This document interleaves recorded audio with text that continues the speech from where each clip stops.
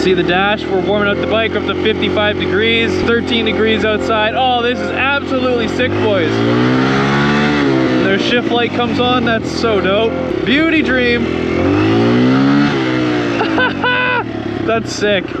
That's so sick. Hey guys, what is up? Welcome to the channel for today's video. And today we're gonna show you how to install a digital dash to your dirt bike. Now, as you guys can see here, we've gone and picked up the Trailtech Vapor Digital Dash Display. And this thing's an absolute unit. You can see here is everything it comes with in the box. So over here we have a power wire. Here we have our tach ignition sensor. Then we have our temperature sensor, as well as a wheel speed sensor. Then it comes with your magnet for the wheel speed sensor. And it comes with two different brackets to mount to two different different size of handlebars. And then we have the unit itself, which is cool because it also has a battery inside of its own. So you can use this digital dash even if your dirt bike is turned off. Now this thing is normally powered by the dirt bike and its dirt bike's battery, but it does have its own internal battery so you can check around and play with the settings and stuff when the dirt bike's not even turned on. Now what's cool with these Trailtech digital dashes is they can pretty much be installed onto any dirt bike. Now this Vapor digital dash is super cool. It shows you your speed, your RPM, your engine temp, the external ambient temperature, your distance, your ride time, a stopwatch, a shift light indicator, a two-stage shift light indicator, an odometer, your maximum ride time, your maximum speed, your maximum RPM, and a whole bunch of other cool features. So let's go ahead, let's jump into setting up the screen, and then we're gonna go ahead and start installing it on the dirt bike. Now to start the setup on the Vapor Digital Dash itself, we're gonna take the three different buttons. So we have the down arrow, the mode button, and the up arrow, and we're gonna press all three of them at the same time. We're gonna press and hold, we'll see it zero out. And now this is gonna set up the whole screen on exactly how you're gonna want it. So we're gonna want it here into kilometers an hour. So go ahead, so we're just gonna click mode, because that's what we want. Now this is gonna be asking here, is gonna be looking for your tire size. So it wants your tire size in millimeters. So let's go ahead and I'm gonna show you how we measure our tire size so it can accurately read our speedo. So now we're simply gonna take our tape measure, we're gonna go down to the ground, and we are gonna measure up to the top of the tire. All right, now that we know it's 660 millimeters, we're gonna take that number and we're gonna multiply it by 3.14, and that's our tire size in millimeters, 2,072. So here's our number that we need to input into the Vapor to get our appropriate tire size to match the speedometer. All right, now we've got our tire size set up correctly. We'll hit mode and go on to the next screen. Now it's gonna ask you what you want your clock. If you want a 12 hour or 24 hour clock, we wanna pull a 12 hour clock. Next, it's gonna ask us for the time of day. So go ahead and we'll set the time of day here. Now it's gonna be asking your pulses per revolution. Now our pulse per revolution is gonna be one. Pulse change level is gonna remain zero. We can change our temperature up here for Fahrenheit or Celsius. We can set what is our high temperature indicator. You can set your danger level for your temperature. You can set your shift lights as well, and then your second shift light as well. And then you have it all set up, and then we can go ahead and start installation on the dirt bike. We've clicked it up onto the handlebars here. We've got the long Allen screw down in here to mount it, and the short one is the one that uses as a pinch bolt on the bracket itself. So we're just going ahead, I gotta pull off my bark busters here, so I can go ahead and slide this down here, and then this will sit just over top of my face pad here. All right, as you can see, we got our dash nice and mounted. That thing is super sturdy. We'll go ahead and pull off the screen protector. Boom, this thing's looking fresh, my boy. And that thing is super duper sturdy. That ain't going nowhere. You can press all the buttons really easily. It doesn't shake. It's got a really nice sturdy mount. I really do like that. And there's that guy installed up on the handlebars. So now it's going through and to actually wire up all the plugs that we got on here uh, so we can get this thing running and ripping just right. It's coming out absolutely sick. Love how it looks. And uh, yeah, mounts super sturdy. All right, so now that that's hard mounted on the handlebars, we're gonna go ahead and install the first one, which is our temperature sensor, which is actually gonna read how hot the engine is running. Now, as you guys can see here by the diagram, we're gonna end up pulling our spark plug out. We're gonna remove the crush washer and we're gonna install install this aftermarket guy here as a replacement for the crush washer and this is going to be what reads the engine temperature. Now we're just going to start by pulling our spark plug boot and just pull that guy up off the socket. Now we're gonna go ahead and remove the spark plug itself with a spark plug socket. Now that we've got our spark plug removed, to remove the little washer here, which is this guy right here at the end of it, all we're gonna do is grab it and we're gonna thread it off the end of the spark plug just by twisting the spark plug like so. That guy will wind up and off. Just be careful not to mess the thread ups. So we're just gonna go back and forth, make sure it comes off nice and easy. This might take a little bit of finessing as the spark plug threads get a little gooped up. All right, and just like that, our washer can come off. Now we're gonna take our new temperature sensor here and we're gonna stick that over the spark plug like so. And then we're gonna stick this back into the engine just like this. All right, and just like that, we've got her plugged in down there into the spark plug. And that just is being routed up the same way that the, that the ignition coil is ran. And it comes up around the handlebars and then ends up plugging into the other half of the harness right here. So now that's all plugged in for our temperature sensor. Let's go over and we're gonna hop into the next step. Now, if you were to have a liquid cooled bike, you're not gonna have the spark plug O-ring and you're gonna either have a fin that goes inside the radiator fins or you're gonna have one that, that goes in the middle of the radiator hose to read the coolant temperature as shown in this example here and an example here. We have this one here that goes onto our spark plug, but you could have one that goes into the radiator fins or one that goes onto the radiator hose. Now, whatever bike you end up purchasing this kit for will come with the required pieces that you need so you can actually read the temperature accurately depending on whether your bike's air cooled or liquid cooled. So now we're gonna jump to the next step and install our power wire that actually powers the unit when the bike's running. Now it's recommended that you use one of these fusible links in case you were to short out the wire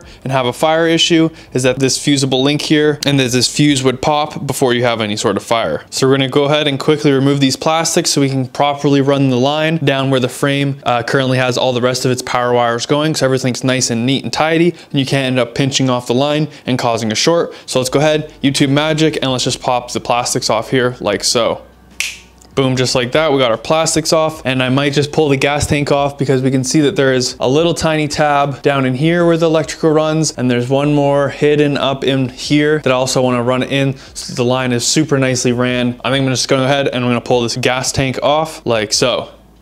Boom, just like that, we got our gas tank off. Now you guys can see the clip I was talking about down in here. So we're gonna use this one. There's another one down there. There's another one right here. And this is what we're gonna use to run our power line. So let's go ahead and I'm gonna go ahead and get that all laid out. Then we gotta go ahead and attach this fusible link we got here. Now this is one thing that does not come included with the kit. You're gonna have to go ahead and pick one of these up. These are super cheap. They're like three or four bucks. Uh, and then we're gonna have to cut this end off and resolder on the correct ending here that can go onto our battery terminal because this one's a little bit too big for what we got. So we'll ahead and we'll cut this down put a smaller one on it, attach this side to the power wire that we have here, attach that to this side here. As you guys can see, there's a red and a black wire. So obviously the red one, we're gonna go ahead and connect to this fusible link wire that's gonna go to our power. And then the black one, we're just gonna put to a ground on the ground side of the battery. All right, now we've got our wire here, it runs down, around, goes through this front little clip here, comes down, it goes through our rubber clip that we have just like OEM, comes into our next clip like OEM,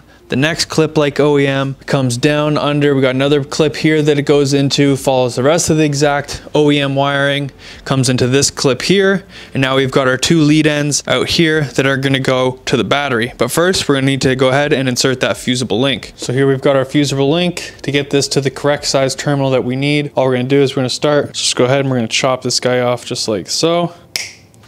Boom. And now we're gonna get our wire strippers and we're gonna peel back the sheath that's on the outside of this wire. Stick it in here and clamp these down and then pull away. And then all we're left with are these exposed wires. Now we've got a packet of these heat shrink wire connectors. We'll open this guy up. One of these guys, this should still fit the bolt, no problem. The wire should fit in this one much, much easier. It's a little bit larger inside of this yellow plug. Go ahead and stick this inside the butt connector just like that. Goes right on in, no problem. We shove it all the way in. We're gonna grab our crimps. Go ahead, we'll stick it on the yellow crimp crusher, yellow for yellow, and we're just going to crush. We give it a little tug. It doesn't move, there's no play in that one. Now we're gonna get a lighter and we're gonna heat shrink the wrap around it so it's got a nice watertight seal on this guy here. And we're just gonna heat it up and this guy's gonna shrink around the wire. We'll have a nice tight fit. Now this guy is not going nowhere and we got a new joint side on this of the fusible link. Now on the other side, we need to just join this to a direct wire, which is the power wire that's off of what we just ran. Go ahead, we're gonna give this a snip. Now, because we have such a thick gauge wire here in our hands that we're gonna be trying to connect to one that's super tiny and thin, we're gonna have to grab, now we know the yellow one fits onto this guy, but the yellow one is quite too large to be able to fit this single wire. So what we're gonna do is we're gonna strip this wire back and we're gonna fold it over on itself so it becomes twice as thick so we can sit it on this guy in here. So I'm gonna head, I'm just gonna clean this guy up and I'll show you over on the bike the other half. You guys should be able to see we've let uh, quite a big chunk of the wire out and now we're just gonna take it and I'm just gonna fold it back over on itself. And it's gonna give us double the thickness of wire, just like so. So now we've got our fusible link with our extended piece here, the other connector that I showed you guys how to install here. Now we're gonna go ahead and we're gonna take this wire that we've now doubled up, part a bit more, and that guy's gonna go inside of there and then get crushed, and then we're gonna wrap this guy up. So now that we got our power wire all done, this side's all done and ready to connect onto our battery. We're gonna do the same thing. We're gonna take our ground wire and we're gonna put a little one of these guys here so we can go ahead and connect it to the negative terminals. All right, so that took a bit of finagling, but as you can see, it's all in there. It looks like OEM fresh. It looks really, really good. We just went and made sure we put some electrical tape along the entire wire line as I just didn't feel comfortable just putting in a bare wire with nothing around it rubbing against metal, considering it is a positive hot wire. So we just wrapped it with some electrical wire and uh, yeah, that's on there. So now we're gonna be jumping over and doing the next part of installing the digital dash, which is absolutely sick. Super stoked on how it's coming out so far. So now we're gonna go ahead and we're gonna do the RPM gauge. So we're gonna go ahead and install this one. Now this one's super duper easy to install. All we gotta do is just like an hour meter on a bike is you just have to run it around the coil pack here. So that's super easy. All we're gonna do is use this little red wire that's left and that's gonna get run around the coil and that's it. That's all there's to the RPM. So let's go ahead. We're gonna plug it in up there. Probably end up cutting and shortening this wire some because it's really, really long. And then we're just gonna go ahead and stick it on there and then we'll have our RPM and tach gauge all set up. So let's go ahead and let's just go ahead and stick that on. So here we have our sensor. This is the sensor itself and this is gonna go down onto our front fork. We got our magnet here in the bag and this is gonna go on and replace one of your brake caliper bolts. So every time that the wheel goes and rolls past it, that's what's gonna be counting your speed on the bike We'll be off the front tire. So as you guys can see here, we got three different bolts. So we're gonna figure out which one of these bolts will go in and replace the rotor bolt here. Now, if one of these didn't fit, it also comes with this little magnet in here, the pink one. You got this pink magnet here and that'll actually, if you drill into your rotor, you can place this pink magnet into your rotor. Uh, and there's a little tiny snap ring that's in there as well. And that's what's gonna be the magnet that reads on the speed sensor. But I'm pretty sure one of these three bolts fits onto our KLX. So let's go ahead and see which one of these bolts can replace the one that's in the brake rotor and make sure when you put it in that you use some blue Loctite on it since this is a spinning part and you definitely don't want this coming out because it'll be kind of a pain in the butt to try and find one of these because you can see they're all magnetic. So yeah, let's go ahead and we'll stick one of these bolts in and see which one fits. All right, so we got our original bolt out. We got our magnetic bolt here for the Speedo. Got some of this blue Loctite here and then we're gonna put some of this on the thread. We'll stick that in. And then what's important to note is that the sensor here, now I've just got it taped up for a temporary uh, to see if it's going to be at the right angle or right line or not, or if it needs to come down lower or not. But it says it wants the bottom of the sensor here to be lined up with the middle of the magnetic bolt that we're going to be using. So uh, I'm just going to kind of guesstimate. We'll see how it is. We'll put the front tire up in the air, spin it, see if it reads the speed up on the Speedo. All right, we got the sensor line. That's just Lucy ran up here. It's all plugged in. So go ahead, we'll spin the tire and let's see if our uh, Speedo reads some speed. So let's go ahead, we'll give her a spin here. Give her a spin. Would you look at that? She's reading km an hour, boys. Hell yeah, boys. So now we got a friggin' speedo working. It all seems to be working so far. So I'm gonna go ahead, I'm gonna slap everything together, tighten it up, button it up, make it all look sweet, nice and flush, zip tie it all up so it's all tucked away, hidden away. We'll go ahead, we'll stick the gas tank and all the plastics back on. We'll open up the garage, stick the GoPro on, and let's just go for a little rip down the street and see if it works or not. Let's figure it out. All right, let's take a peek at it and see if this thing works, boys. So we got our dash up here on the cluster. We'll start it up. We can see our tach is working beautifully. That's awesome. Uh, what else we got to test? We got uh, the air temperature outside, 16. We can see the bike sitting at 24 degrees. Let's see if it warms up. Oh yeah, instantly we're getting up 26 degrees, 28 degrees. Tach works cool. 29 degrees. We'll go for a little bit here. Speedo's working.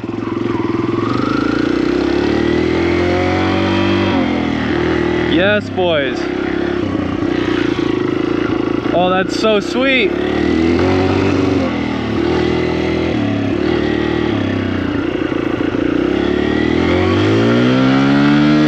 Oh, our little sh shift light works. that's sick. That's awesome. See the dash, we're warming up the bike up to 55 degrees. You can see our max that we went was 30. It's 13 degrees outside. Oh, this is absolutely sick, boys. Their shift light comes on, that's so dope. Oh, absolute beauty dream, boys. Beauty dream. that's sick. That's so sick. That's sick! Wow, this thing revs at 10,000 RPM. That's so awesome, boys. Bike 76 degrees. RPM, it shows your exact RPM there.